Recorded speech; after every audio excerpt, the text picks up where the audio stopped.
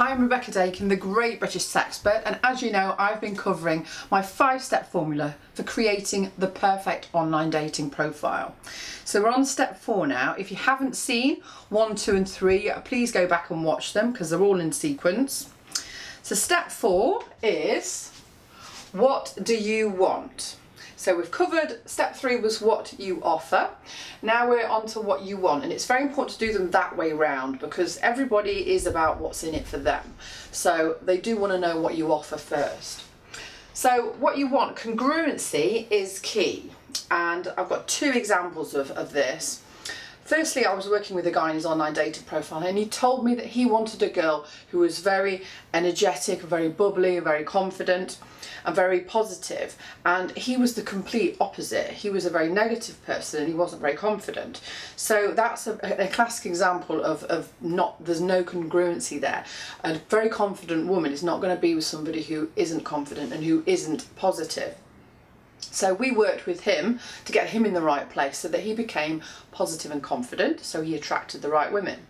Another example is I was working with an American guy in his dating profile and he said that it didn't matter what women looked like, he was all about the personality, which was great. So we wrote him a really good profile and then he complained to me a week later that he had a lot of overweight women contacting him. That wasn't what he wanted.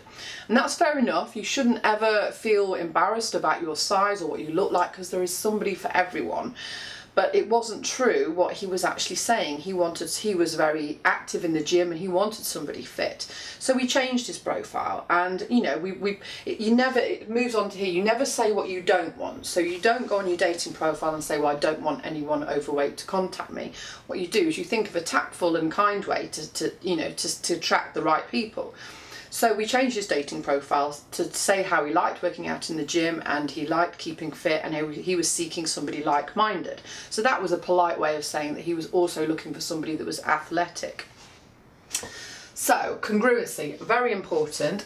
And yes, never never write down what you don't want. Always keep your profile positive.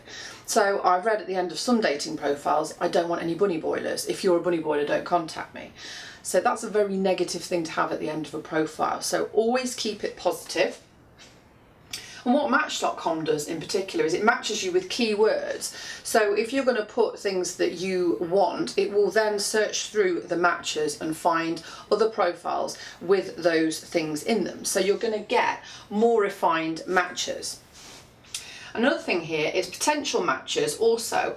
When you put what it is that you want, if, it, if that relates to that particular person, they're going to go, oh, that's me. And, you know, they will get, you'll get more of a chance of responses from the right people. Another thing to talk about what you want is what type of relationship are you after? Are you after a monogamous relationship? Are you looking for a casual relationship? Are you looking, are you more of a traditionalist? Are you somebody, you're you a gentleman that always likes to pay? Um, or are you a woman that always likes to go halves and pay her own way? These sorts of things are quite important when you're dating to get those things clear. Um, so yeah, the next step about what you want is really just making sure that you put the qualities that you're looking for without sounding like that you're um, you're too fussy. You don't want to end up with a big long list. What this is really is just to give an idea of the kind of person that you're looking for. So that is step four and step five will be coming to you next week so do tune in to watch it and thank you for listening. If you want to go to my website it's rebeccadakin.com and sign up and subscribe if you like my videos. Thank you.